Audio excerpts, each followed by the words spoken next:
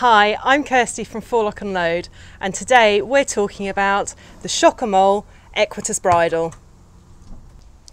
The Equitus Bridle from Schockemohle is their latest anatomical bridle in their Equitus range. It's cut away at the ears, very very padded around the poll, it's curved around the cheek to take any pressure off the facial nerves. The Schockemohle bridle is really beneficial for sensitive horses and also for any rider who's looking to increase the comfort for their horse. At Forelock and Load, we always recommend fitting the bridle without the bit first, so you can make sure everything is in the right place before popping the bit on. I'm going to gently place the bridle over his ears and onto his head. The throat lash we always fit so that there's four fingers width so that it's not too tight.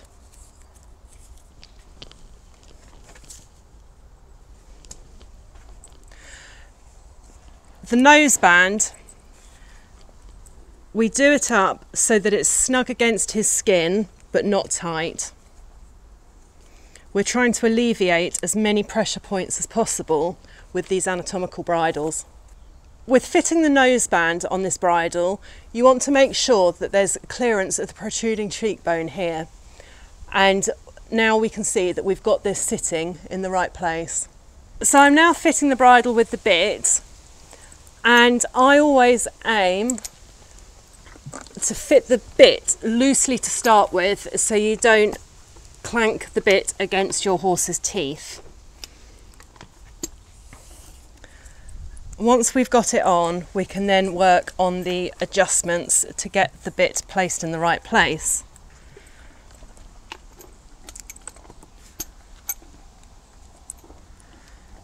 And this bridle has got good adjustment on the cheek pieces as well as on the little bit loops so you can get a really good fit on your for your horse. So here you can see that the bit is sitting too low in his mouth so I can pull it up.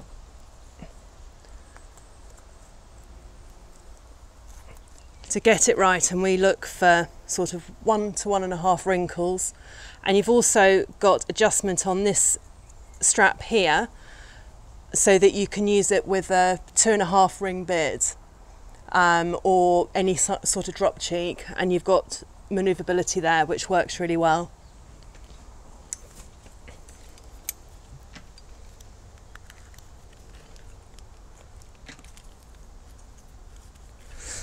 And oh, and that is the fitted Schockemohle bridle. A couple of things to look out for when fitting the bridle is to make sure that you don't have it too high so it's sitting on the cheekbone here. The other thing we want to make sure when we're fitting the bridle is we don't have it too low. You don't want the noseband to be sitting on the softer part of the nose.